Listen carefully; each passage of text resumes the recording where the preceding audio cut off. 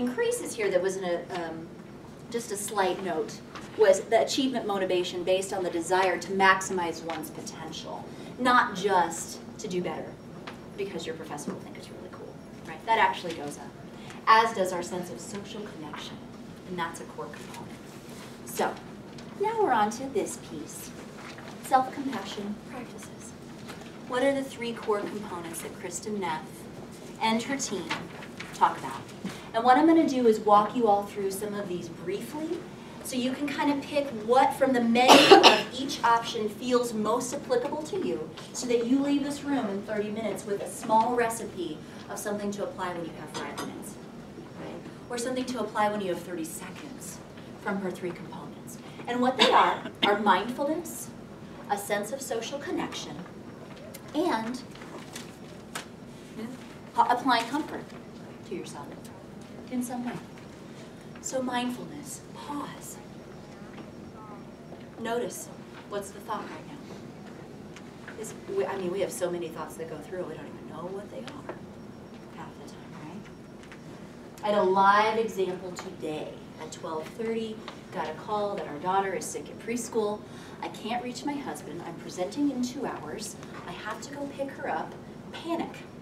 Cool my dear sweet friend Janine gives us a ride to my car so I can breathe, and she reminds me to breathe. and so, but in that moment, the thought was, I have to fix it all, and it's gonna, it, it, there was an explosion, right? This is not earth-shattering stuff. Preschoolers get sick. But oh my gosh, this is unsolvable, was the immediate. I won't be able to present, I've worked so hard, blah, blah, blah. Pause. Okay, oh, I can practice what I preach ahead of time, cool. nice her big thing is notice this is suffering. You don't have to judge it or compare it to starving children in Ethiopia, right? Which is my mother's quote all the time. We're not starving children in Ethiopia. There are starving children in Flagstaff. We can reel it in a little bit. But I also don't have to feel bad that things aren't that bad. I can know that in my reality, this is suffering. I'm having a hard time right now. The piece about applying comfort and I'll give you some menu options right now, are ways that we elicit our oxytocin or mammalian response for comfort.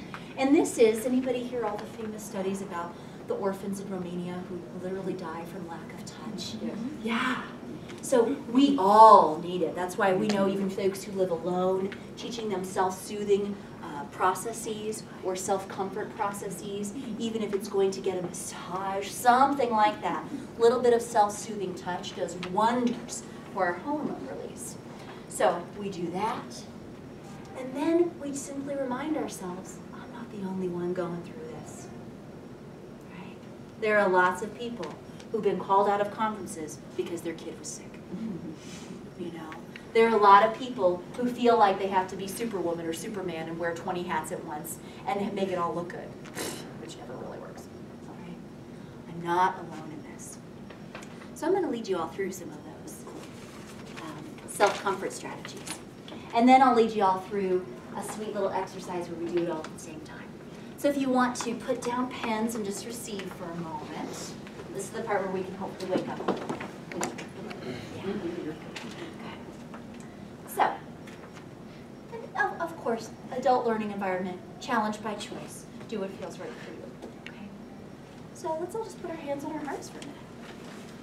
And see you're not alone, everyone's doing it. Sense of social connection, so you don't have to worry about looking weird. Yeah, and if it feels better to close your eyes or find a spot on the floor to focus on, you know, where you don't have to worry about the eye contact effect, just with whatever's going on for you. It's Friday afternoon. It's been a long week. I don't know what everyone's facing for their weekend or their evening, but just a, oh, just a little, maybe a little pat of your heart.